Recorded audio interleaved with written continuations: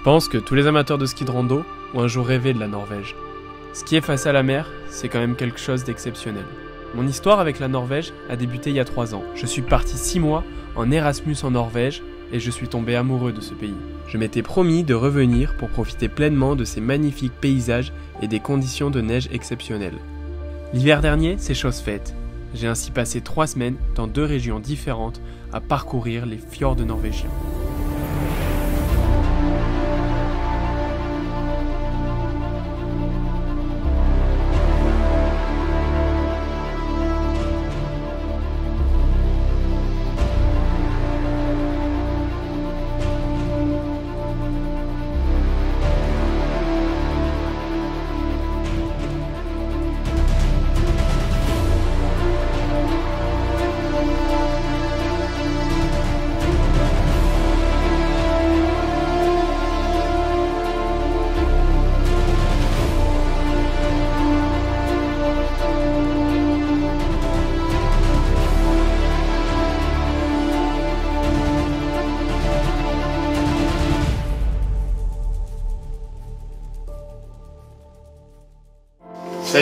Demain c'est le départ pour Tromsø.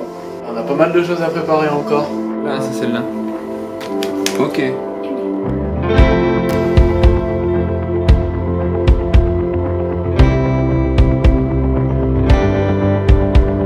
Voilà, on est arrivé à Tromsø hier soir, sous la neige. On a passé la nuit au camping de Tromsø et on a déjà les premières lueurs de beau temps qui arrivent.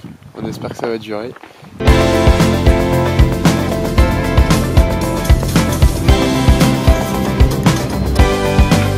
Allez, c'est parti pour le premier itinéraire de ski de rando en Norvège. On va à Strollsaxlor. Pour cette première journée, la météo n'était pas vraiment avec nous.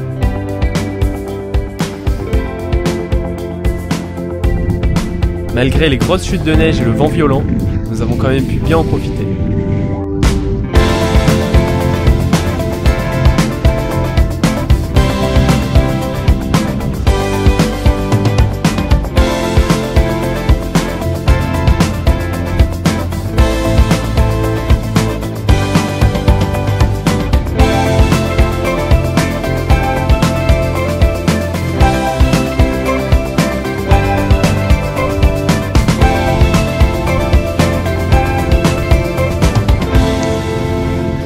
Fin de la première sortie, avec une météo plutôt euh, difficile. Mais on s'en est bien sorti, la neige était fraîche. Donc voilà, on espère que demain ça sera aussi bien et on va partir un peu plus au sud, vers ici.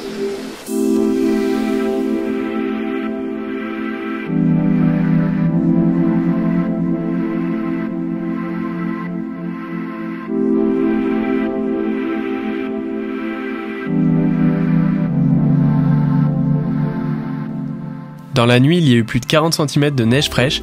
Nous partons maintenant en direction du Stortinden. Il y a eu beaucoup de vent, donc on verra si on ira jusqu'au sommet.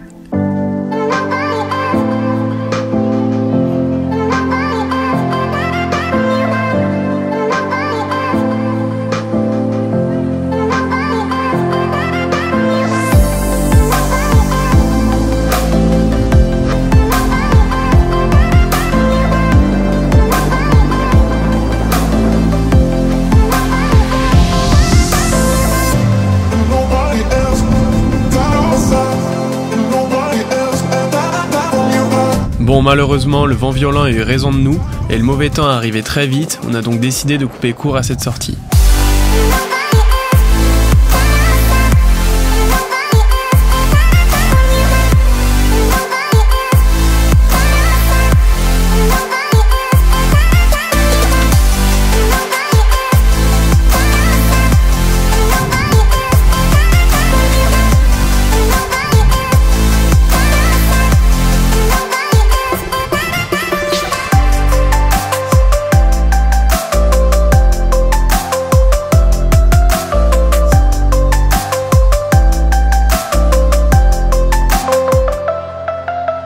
Maintenant, on va partir en direction des Lofoten Islands. On a un petit peu de route, mais on va découvrir de nouveaux paysages.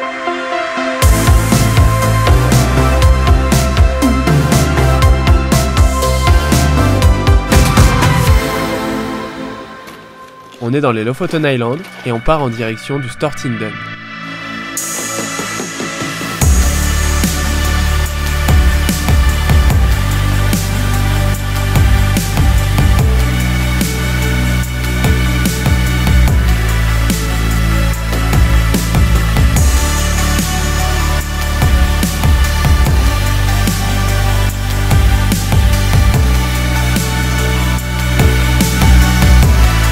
Bon, apparemment on n'est pas les seuls à avoir eu cette idée.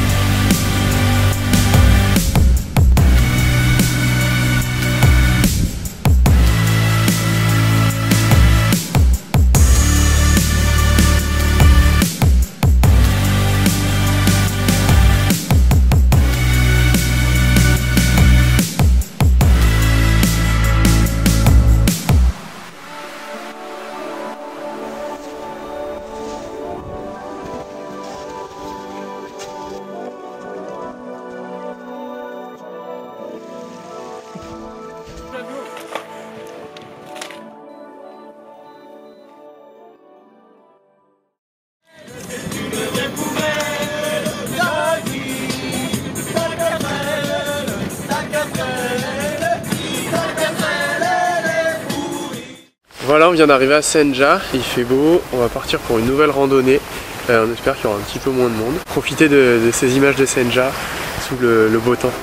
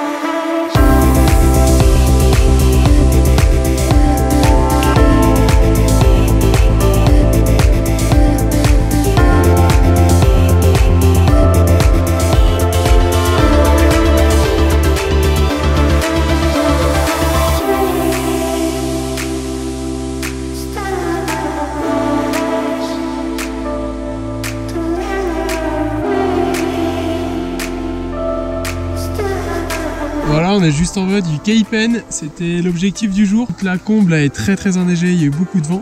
Du coup, euh, demi-tour. On va redescendre directement et on va repartir sur une autre montée pour finir la journée, pour profiter de ces super conditions météo qu'on a actuellement.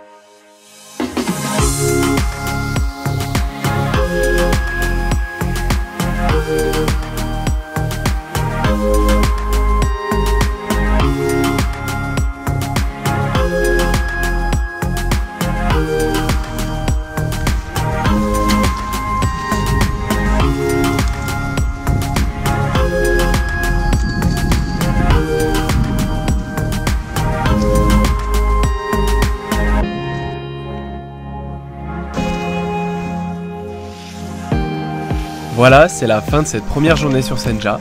On espère qu'on aura autant de chance demain.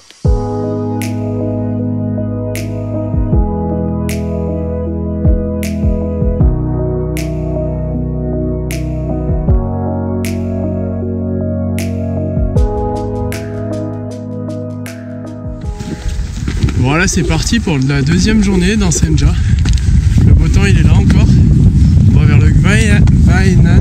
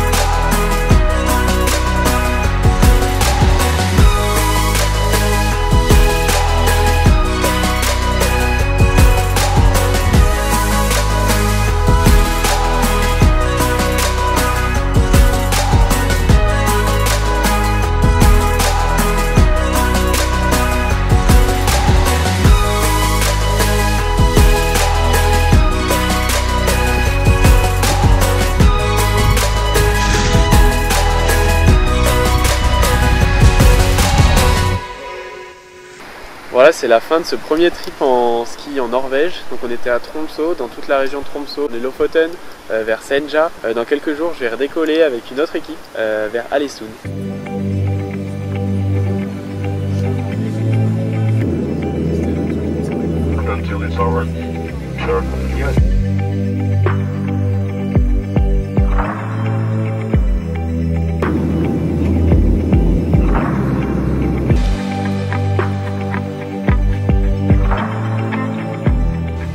Voilà, on se retrouve quelques jours après le trip en camping-car. Cette fois, on est vers Alesund.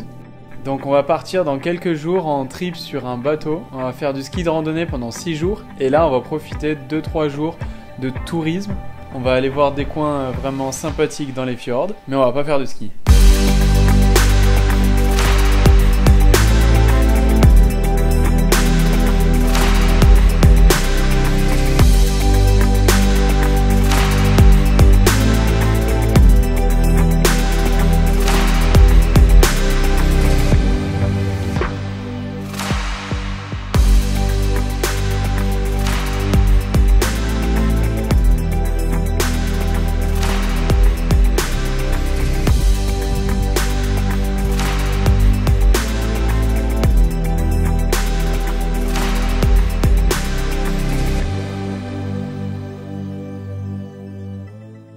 Pour cette dernière journée avant le départ sur le bateau, on a décidé de partir vers la route atlantique. Je pense que vous avez bien aimé ça.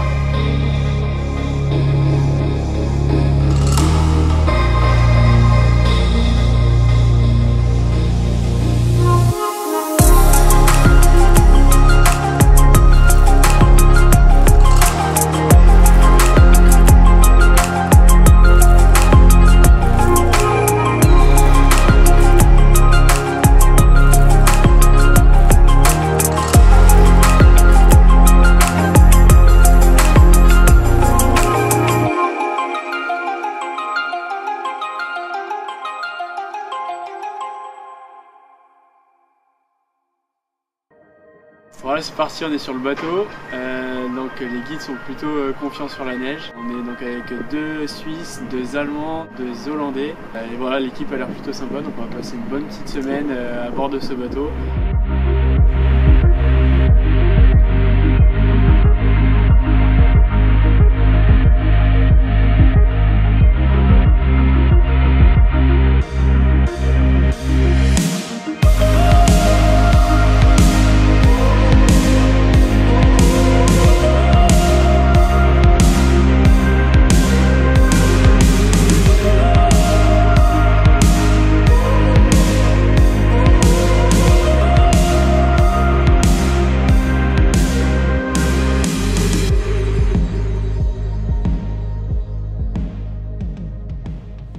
Après une première nuit à naviguer, on vient d'arriver à Strandal, on va passer les deux prochains jours.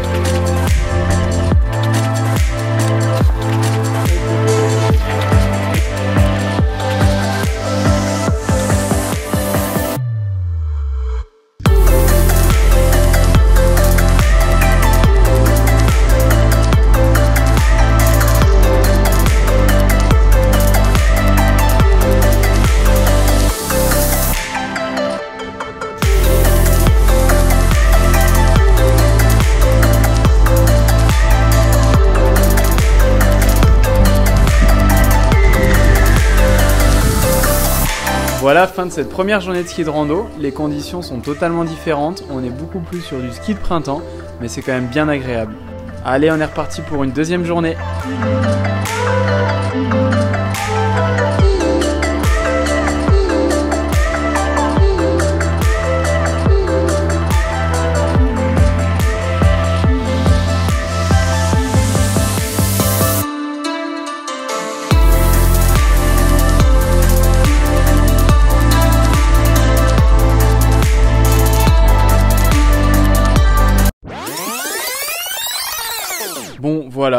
C'est à ce moment-là que ma journée a commencé à déraper un peu.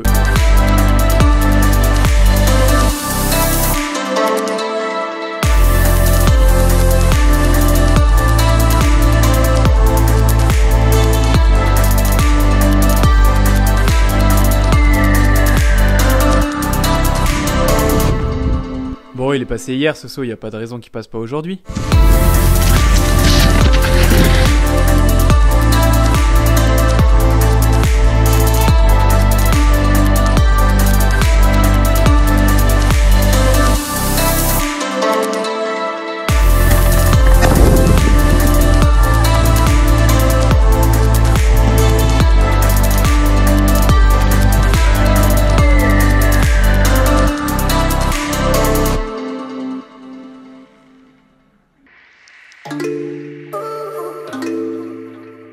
Là, on repart vers Ourcq. On va passer les prochains jours. On voit que la ligne de neige est toujours assez haute. Voilà, cette expérience en ski et en bateau, c'est assez exceptionnel, je trouve. On peut vraiment skier juste à côté des fjords. Les paysages sont vraiment magnifiques. Et voilà, prenez-en plein les yeux.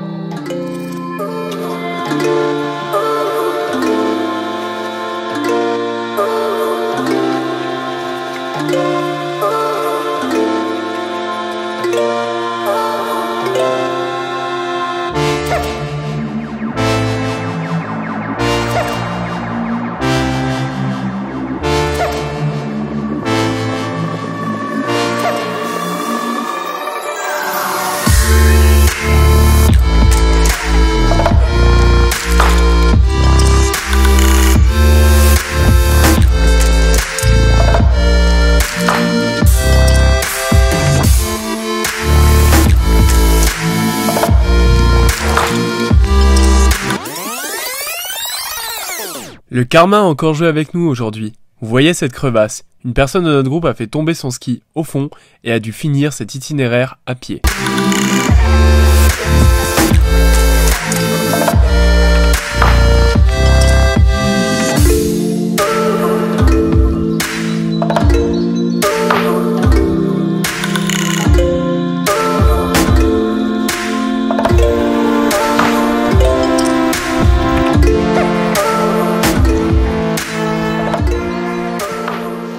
Conditions n'étaient finalement pas au rendez-vous vers Ourquet, nous avons donc décidé de changer d'endroit pour partir vers une face plus orientée sud.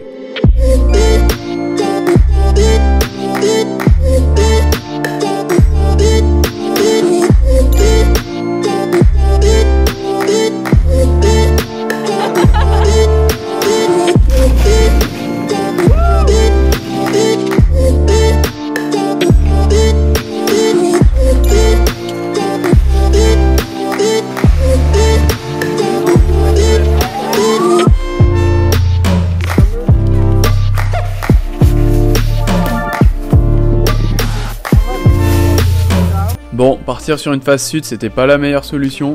Il y a des jours, il faut savoir faire demi-tour. Là, après deux heures de rando et une heure de montée à ski de randonnée, on doit faire demi-tour parce que la neige est beaucoup trop chaude, beaucoup trop lourde et ça commence à couler un peu de partout.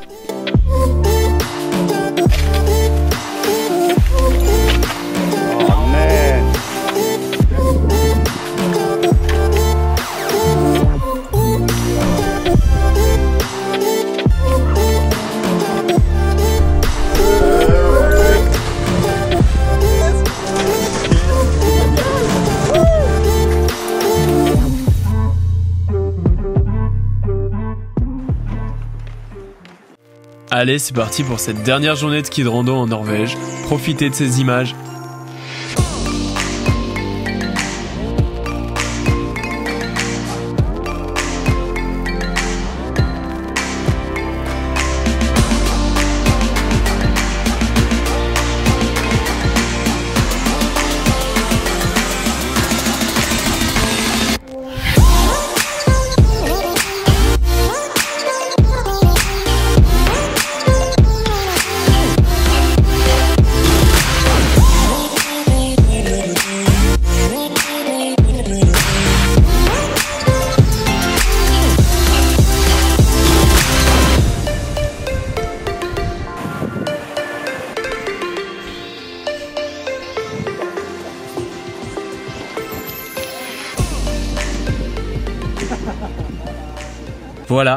C'est la fin de cette aventure en Norvège. Comme vous avez pu le voir, c'était deux trips totalement différents, en termes de neige, en termes de paysage. C'était assez incroyable de pouvoir dormir dans un bateau et de pouvoir partir en ski de randonnée le lendemain matin. Le trip en camping-car permet quant à lui de dormir directement sur les points de départ des itinéraires à ski de rando. J'espère que vous aurez apprécié ces images. Merci à Millet et à Community Touring Club pour leur soutien. Et on se retrouve très vite cet hiver pour plein de nouvelles images. Allez, ciao